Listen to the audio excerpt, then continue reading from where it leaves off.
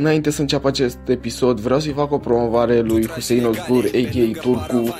El face muzică, s-a apucat foarte recent de chestia asta și are versuri foarte bune după părerea mea. E un prieten de-al meu. Intrați pe primul link din descriere și ajutați-l și pe el cu un like, un subscribe pentru că o să apară mult mai multe piese, vă spun eu. Dați și un share ca să devină și el mai cunoscut. Are decât o piesă pe canal, i-a ieșit super. Intrați pe primul link din descriere sau așteptați până se termină videoclipul, vă va apărea acolo o iconiță, apăsați pe ea și acolo este canalul lui. Asta am avut de zis, asta am avut de zis, acum vă las cu povestea. Pa, pa! Într-o noapte, o domnișoară stătea în patul ei. Un băian i a apărut pe față și a început să se tărască.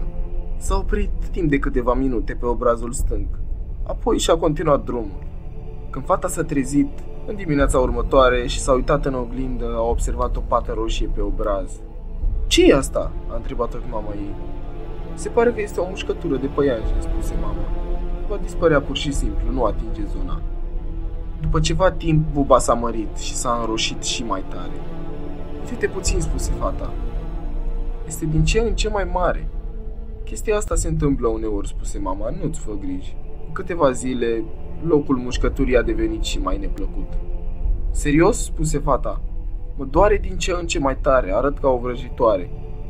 Vom face o vizită doctorului, spuse mama. Trebuie să fie o infecție. Dar doctorul nu a putut să o vadă pe fată până a doua zi. În noaptea aceea, ea a decis să facă o paie relaxantă.